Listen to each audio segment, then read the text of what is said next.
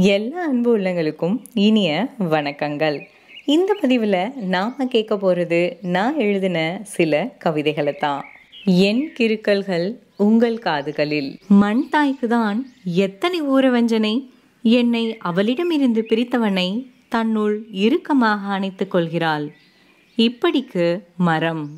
உனக்கும் என் கண்ணீருக்கும் என்னதான் பிரச்சனை? உன்னை பற்றி நினைக்கும் பொழுதெல்லாம் என் கண்களிலிருந்து வெளிநடப்பு செய்கிறது. உறவுகள் இல்லாதவன் மட்டும் அனாதை அல்ல. உண்மையான உறவுகள் இல்லாதவனும் அனாதைதான் பெண்ணே நீ நிலவாய் நின்றாய். உன்னிலும் கரைகள் கண்டன இந்த உலகம். பிரிவு சந்தோஷமும் தருகிறது துக்கமும் தருகிறது. நான் உன்னை என் கருவறை விட்டு பிரித்தபோது நீ என்னை முதியோர் இல்லம் விட்டு பிரிந்தபோது.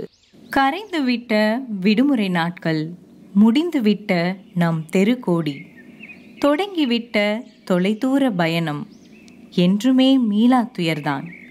பிழைப்புக்காக பிற தேசம் சென்ற என் போன்றோர்க்கு.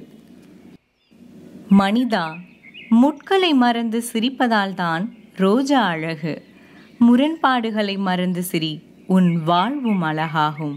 தோழா தொலைதூரம் சென்றாலும் தொடர்புகளற்று போனாலும் தொலையாத நினைவுகளுடன் தொப்புள் கொடி உறவாய் தொல்காப்பியர் சொல்லாய் தொடர்கிறது நமது தோழமை.